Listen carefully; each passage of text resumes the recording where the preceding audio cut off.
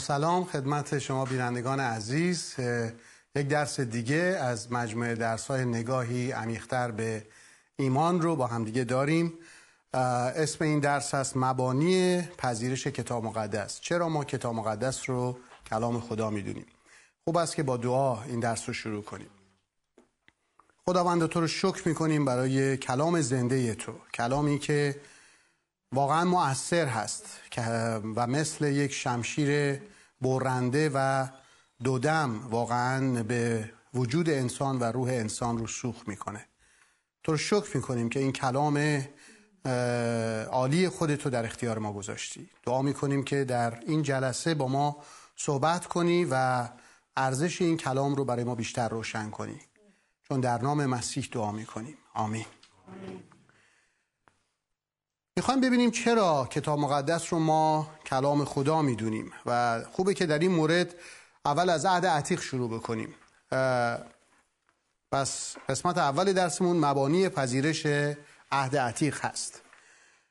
واقعیت اینه که ما به عنوان مسیحیان شاید بتونیم بگیم حتما می‌تونیم بگیم که مهمترین مهمترین دلیل ما برای اینکه عهد عتیق کلام خدا هست صحبت های عیسی مسیح خداونده. طبیعیه که ما به عنوان مسیحیان به عنوان کسانی که پیرو عیسی مسیح هستیم نظر مسیح برای ما دیگه از هر چیزی مهمتر هست. و در مورد کتاب مقدس هم همینطوره. وقتی که ما راجع به عهد عتیق می‌خوایم فکر بکنیم وقتی نگاه می‌کنیم به اینکه عیسی مسیح خداوند با عهد عتیق چه برخوردی داشت او عهد عتیق رو چی می‌دونست و چی راجع بهش فکر می‌کرد؟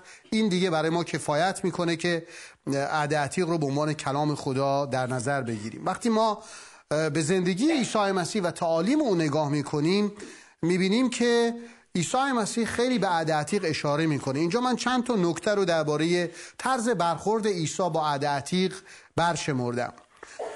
مثلا می‌بینیم که عیسی مسیح اقتدار اون رو در نقل قولهای خودش به رسمیت می‌شناسه. در خیلی از جاها ما می‌بینیم که عیسی مسیح به عهد عتیق اشاره می‌کنه. مثلا در اون وسوسه هاش یاد تو میاد. وقتی که شیطان میاد و او رو وسوسه می‌کنه اتفاقا خود شیطان هم سعی می‌کنه یه جوری از کلام خدا استفاده بکنه. بلا فاصله می‌بینیم در پاسخ به شیطان عیسی مسیح میگه نوشته شده است. مکتوب است. و آیه ای رو از عهد عتیق بهش اشاره می‌کنه به قسمتی از عهد عتیق اشاره می‌کنه. وقتی عیسی مسیح میگه مکتوب است برای او این دیگه ختم ماجراست. برای او این دیگه ختم هر بحثیه. و این به ما نشون میده که برای خود عیسی مسیح عهد عتیق از چه اقتدار و مرجعیت بالایی برخوردار بوده. اینقدر مهم بوده که با یک عبارت مکتوب است او هر بحثی رو به پایان می‌بره و دیگه آخرین مرجع می‌دونه. پس اگر برای مسیح عهد عتیق از یک همچین اقتداری برخوردار طبیعیه برای ما مسیحیان ماهایی که پیروان عیسی مسیح هستیم بایستی عهد عتیق همچین مرجعیتی داشته باشه. همینطور ما می‌بینیم که عیسی مسیح در در گفته های خودش تاریخ عهد عتیق رو میپذیره. خیلی جاها هست که اشاره می‌کنه به به عهد عتیق به انبیا اشاره می‌کنه به داوود اشاره می‌کنه و به تاریخ عهد عتیق اشاره می‌کنه.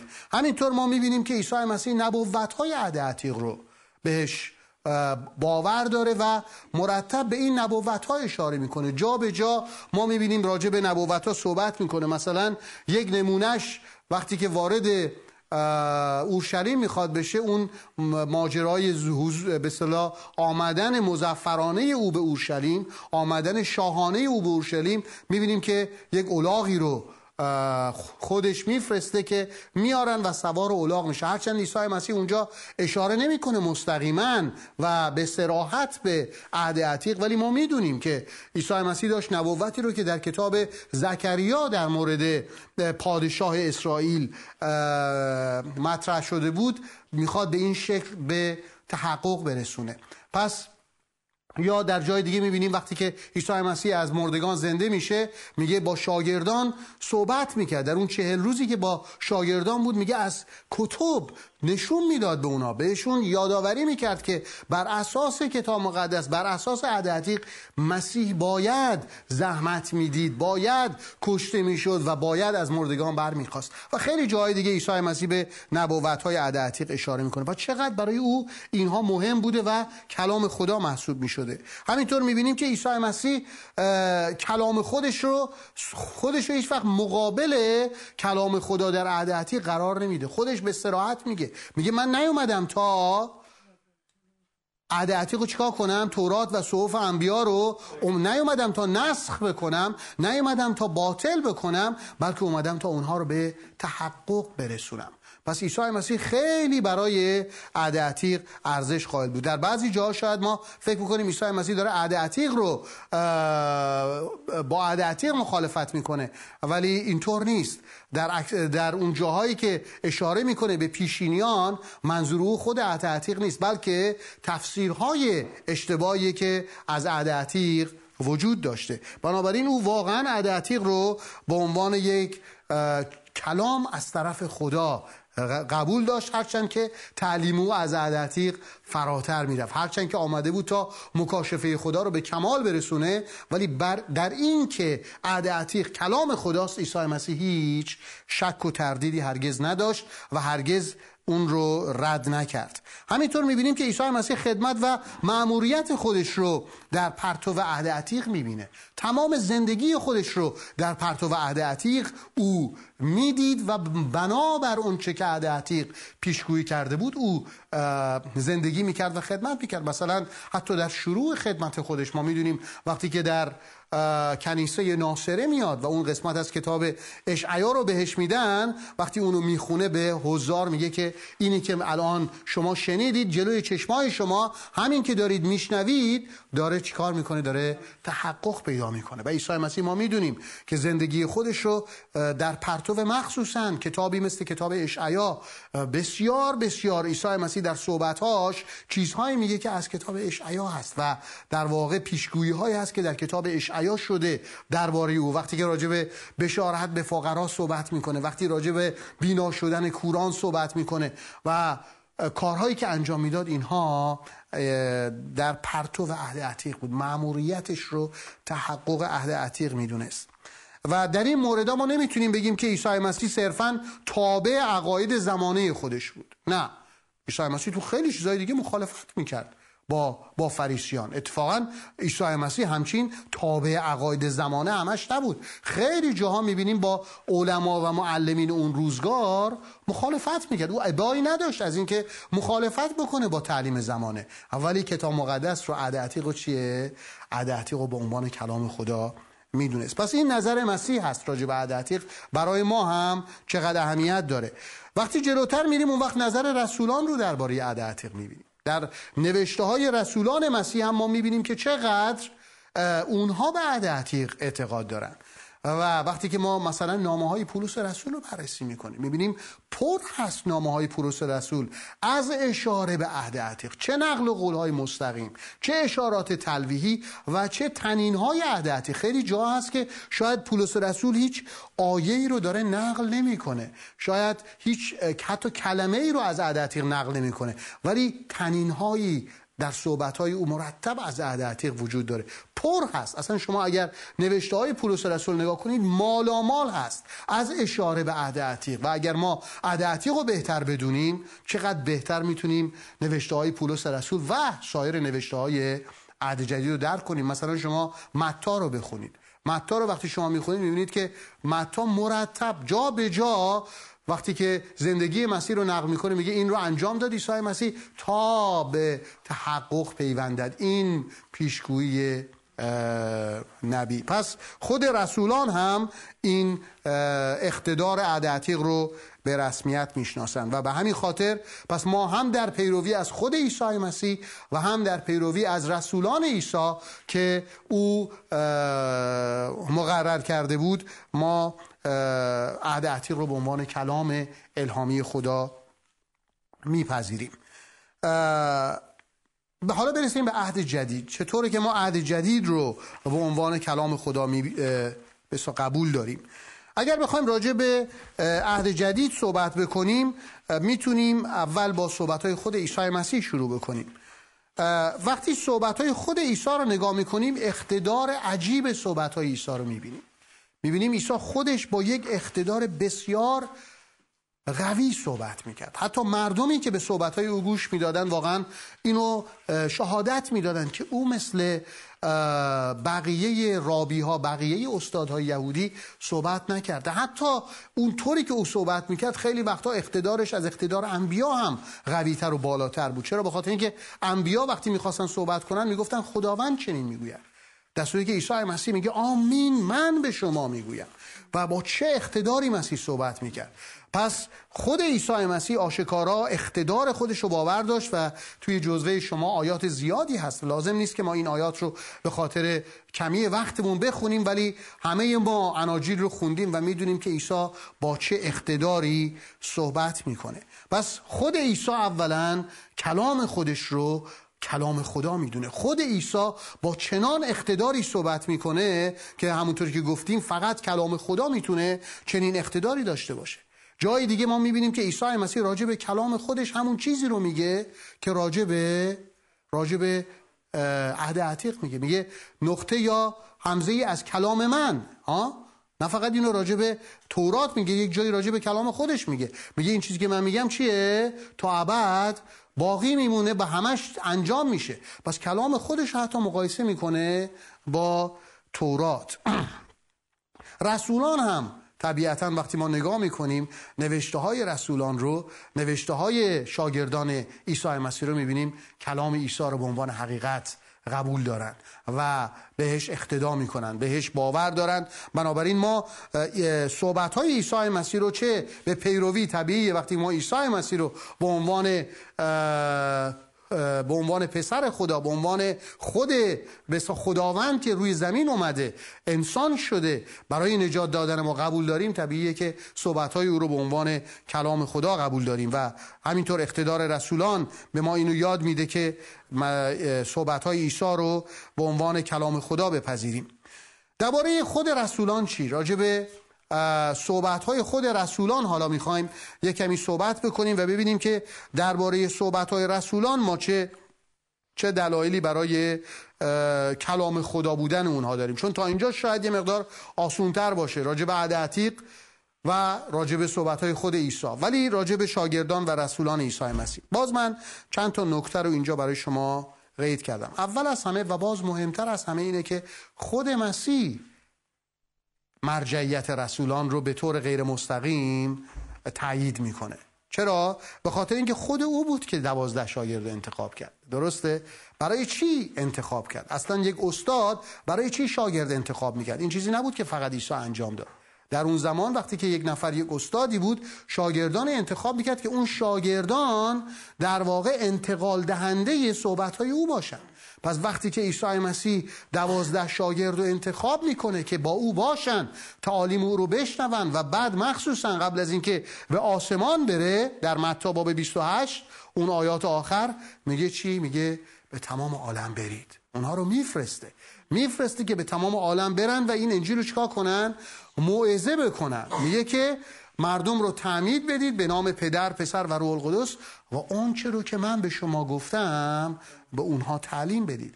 پس عیسی مسیح خودش بود که شاگردان رو دوازده شاگرد و بعد رسولان دیگر رو برگزید و در واقع به اونها این اقتدار رو داد که اونها برن و این پیام رو این تعالیم رو به دیگران منتقل کنن.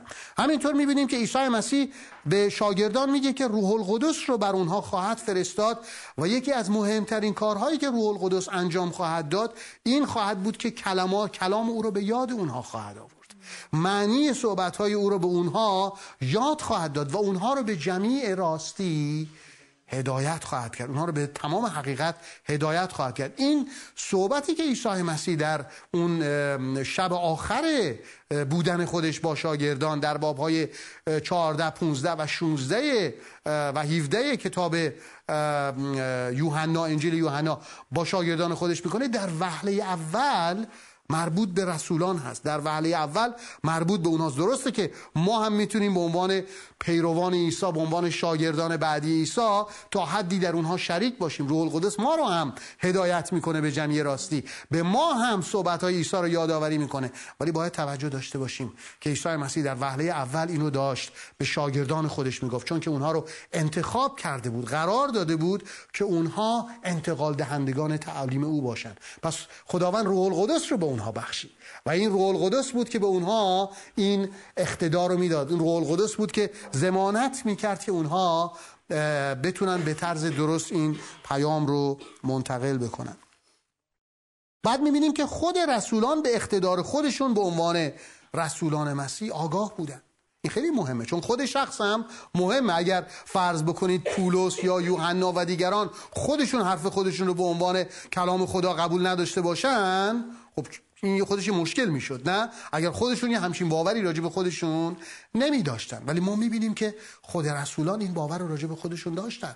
مثلا وقتی ما پولس رو می‌خونیم می‌بینیم پولس با چه اقتداری صحبت می‌کنه و بارها میگه میگه که شما کلام ما رو پذیرفتید و آن رو نه چون کلام انسان.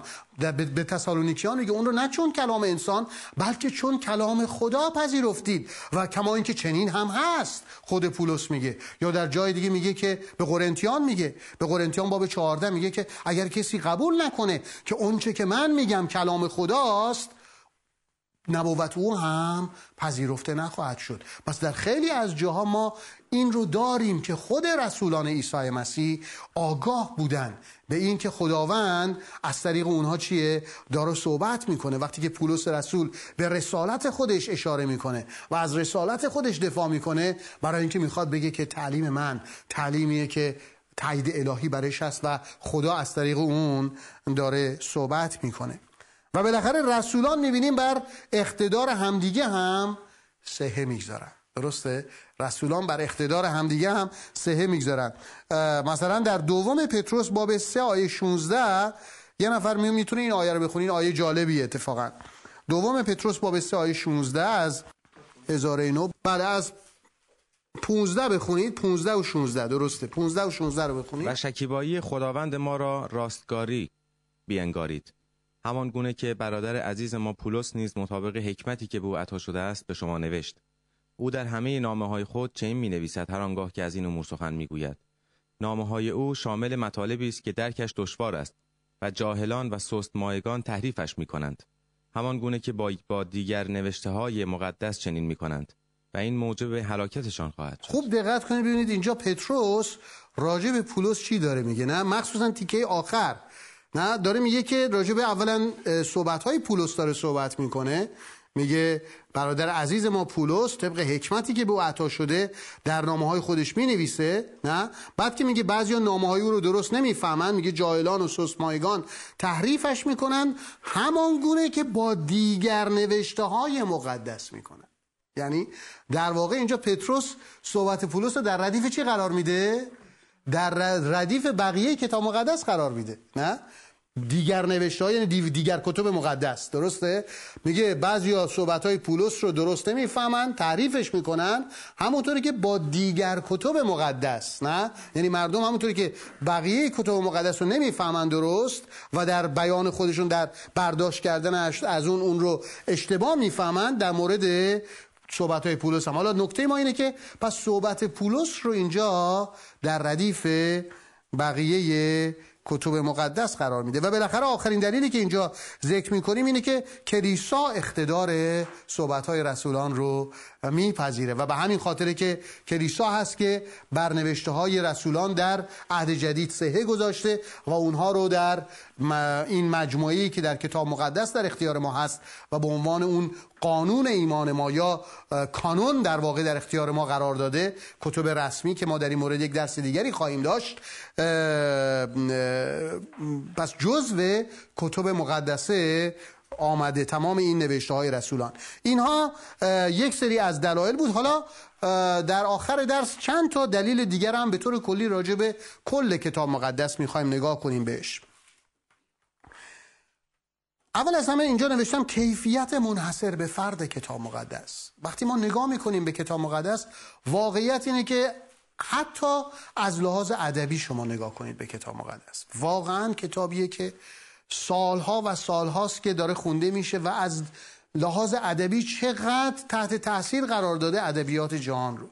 اصلا این یه حقیقتیه که ادبیات انگلیسی شدیداً تحت تاثیر کتاب مقدس هست. نوشته های مخصوصا ترجمه کینگ جیمز تاثیر خودش رو به نوع عمیقی بر ادبیات انگلیسی گذاشته. و چقدر کتابیه که از حتی نظرهای دیگه واقعا منحصر به فرده. کتابی که وقتی ما می‌خونیم می‌بینیم چه درسای اخلاقی چه چیزهایی درباره خدا به ما یاد میده. کیفیت کتاب مقدس چیزیه که اونها منحصر به فرد می‌کنه. وقتی که ما این کلام رو می‌خونیم واقعا اون کیفیت خاصش کیفیت منحصر به فردش هست که به ما شهادت میده که این کتاب یه کتاب معمولی نیستش بلکه کتابیه که از طرف خدا الهام شده. بعد نوشتم قدرت و تاثیر کتاب مقدس بر زندگی انسان. واقعا چقدر میلیون ها نفر با خوندن این کلام زندگیشون عوض شده زندگیشون تبدیل شده. با چه تأثیری روی زندگی ما داره؟ خود این کلام میگه که کلام خدا مثل شمشیر برنده و دودم هست نه؟ شمشیری هست که می‌بره و اثر می‌گذاره. و خود پولس میگه الهام خداست و برای نصیحت برای رشد برای تشویق برای اصلاح برای تربیت مردان و زنان خدا بسیار مفیده. پس قدرتش نشون دهنده الهامی بودنش هست وقتی ما می‌بینیم که روی زندگی ما چه تأثیری می‌ذاره وقتی که ما کلام خدا رو می‌خونیم چقدر تاثیر داره و واقعا عجیبه. من گاهی وقتا میگم که شما بهترین رمان رو بهترین کتاب بالاخره چند بار میشه خون دو بار سه بار پنج بار. چند بار میشه یه کتابی رو خون جالب این کتاب رو هر چند بار که شما می‌خونید کهنه نمیشه. می‌بینید هر بار که می‌خونید یه چیز جدیدی توش هست. می‌بینید یه طور تازه‌ای داره صحبت می‌کنه. آدم تعجب می‌کنه که چطور میشه یه نوشته ای انقدر قدرت داشته باشه انقدر تازه باشه انقدر هر بار که ما می‌خونیم چیز تازه‌ای به ما بیه غیر از اینه که این کلام کلام خدا هست غیر از اینه که واقعا روح القدس اون رو الهام کرده و در نتیجه یک چنین قدرت و تأثیری بر زندگی انسان می‌گذاره. چیز دیگه که اینجا نوشتم وحدت و انسجام کتاب مقدس. این کتاب که متشکل از 66 تا کتاب هست در واقع یک کتابخونه هست که در فاصله زمانی خیلی زیادی نوشته شده. دقت می‌کنید دو سه هزار سال طول کشیده تا این کتاب نوشته شده به وسیله اشخاص مختلف در موقعیت های مختلف در تاریخ های مختلف. و جالبه وقتی که ما این کتاب رو می‌خونیم می‌بینیم که در این حال یک کتابه. چقدر درسته که میگیم کتاب مقدس. به خاطر اینکه یک وحدت عجیبی داره. با اینکه شاید اصلا به وسیله اشخاصی از سوادهای مختلف نوشته شده. یکی به وسیله اشعیا نوشته شده که شخص درباری بود شخص با سواد بود. یکی به وسیله آموس نوشته شده که چوپان بود. یکی به وسیله پتروس ماهیگیر نوشته شده یکی دیگه به وسیله پولسی نوشته شده که شخص دانشمندی بود یا به وسیله لوقایی که شخص طبیبی بود. ولی وقت در همه اینها ما می‌بینیم یک انسجام هست یک یگانگی هست. و این انسجام و و یگانگی کتاب مقدس در واقع شهادت میده برای اینکه این کلام کلام خدا هست. از نظر باستانشناسی علم باستانشناسی هم من اینجا نوشتم که خیلی تحقیقات روی کتاب مقدس شده. مخصوصا از زمانی که باستانشناسی شروع کرد به تحقیقات بیشتر کردن حتی بعضی جاها و بعضی نامها و حتی بعضی از پادشاهان که نامشون در کتاب مقدس اومده بود و در تاریخ ذکر نشده بودن اینها. یعنی در اون تاریخی که ما ازش خبر داشتیم. و یه مدتی می‌گفتن این, این, این اسم از این پادشاه کدوم پادشاه هست. ولی بعدا آثار باستانشناسی وقتی حفاری ها انجام دادن معلوم شد که نه اینا حقیقت داره. و چقدر کتاب ها در مورد باستانشناسی راجع به کتاب مقدس نوشته شده که همه اینها معید این هست که واقعا کتاب مقدس الهام خدا هست و ما می‌تونیم اونو قبول کنیم.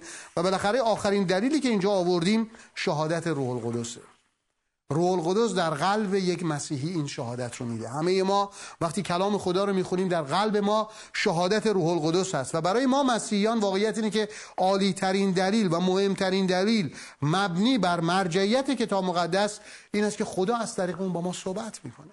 روح القدس از طریق اون با ما صحبت می‌کنه و واقعا بایستی بگیم که در تحلیل نهایی خود خدا می‌تونه شاهد حقانیت کلامش باشه. واقعا هم باید اینطور باشه. یعنی خود خدا باید شهادت بده که یه کلامی کلام خدا هست یا نیست. و ما وقتی که کتاب مقدس رو می‌خونیم می‌بینیم که روح القدس این شهادت رو بر حقانیت کلامش میده. خیلی خوب فکر می‌کنم تا همینجا کافی هست. اگر اگر سوالاتی در این مورد دارید می‌تونید بفرمایید. برادر مهداد با توجه به اقتدار کلام خدا اقتدار مسیح و تمام درسهایی که توی این جلسه ها دادید سوالی برای من پیش میاد که چرا به چه دلیل انسانها در این زمان و زمانهای قبل گروهی از انسانها چرا مسیح رو نپذیرفتن؟ چرا این تضاد فکری هست چرا تضاد اعتقاداتی هست؟ چرا قبول نکردن؟ با این اقتداری که هست مگه خدا مگه خداوند قادر مطلق هست؟ مگه خداوند نمی‌تونه که مکشوف کنه بر تمام انسانهای روی کره زمین که همه بپذیرن همه یگانگی و وحدت خود خدا رو در عیسی مسیح و همچنین اقتدار عیسی مسیح رو بپذیرن. این چه مطلبی خیلی سوال خوبیه. من فکر می‌کنم علت اصلی موضوع رو باید در آزادی انسان جستجو کرد. یعنی وقتی که خدا انسان رو آفرید انسان رو آزاد خلق کرد. و آزادی مستلزم اینه که انسان بتونه تصمیم بگیره. اگر یک وجودی رو شما آزاد خلق بکنید و اون وقت با او جوری عمل بکنید که چیزی به او تحمیل بشه. دقت میکن یعنی پیروی از خدا بایستی با آزادی باشه. یعنی بایستی من بتونم نبگم به خدا. یعنی آزادی معنیش اینه. و اینو ما در درس انسانشناسی که خواهیم داشت به زودی بیشتر بررسی خواهیم کرد. کلام خدا به ما نشون میده که خدا انسان رو آزاد خلق کرد و خدا خیلی جدیه. وقتی آزادی به انسان میده بایستی این آزادی رو احترام بکنه. آزادی هم یک چیز درونیه و هم یک چیز بیرونیه.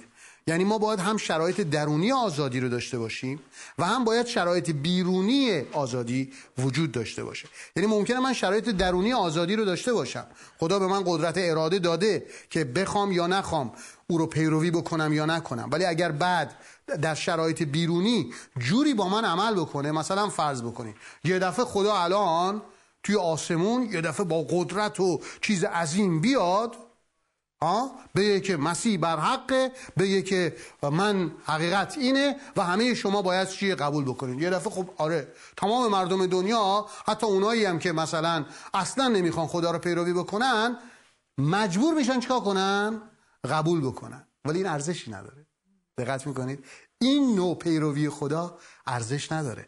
بنابراین به همین خاطره که گفتیم مکاشفه خدا هیچ وقت مکاشفه جوری نیست که تحمیل کنه خودشو به ما. یعنی همیشه وقتی خدا خودشو آشکار می‌کنه در این حال جا می‌ذاره که اگر شما نخواستی بپذیری بتونی یه جوری چکار کنی؟ از زیرش در بری. چون اگر قرار باشه خدا یه جوری خودشو به ما نشون بده که تحمیل بشه به ما دیگه پیروی ما از او ارزشی نداره. یعنی واقعیت اینه که ما مجبور میشیم او رو پیروی کنیم. و همین خاطره که برای اینکه آزادی ما حفظ بشه برای اینکه اون چه که خدا می‌خواد در درون ما انجام بده در پیروی خودش انجام بشه لازم خدا یه فاصله ای رو با ما حفظ کنه. لازمه که خودش رو جوری به ما بشناسونه که در این حال جا باشه. برای اینکه باز ما یه جوری اگر نخواستیم بگیم نه. بگیم نه این نبود. به این خاطره که خدا اینجور با ما رفتار می‌کنه. ولی تحمیلی میشه.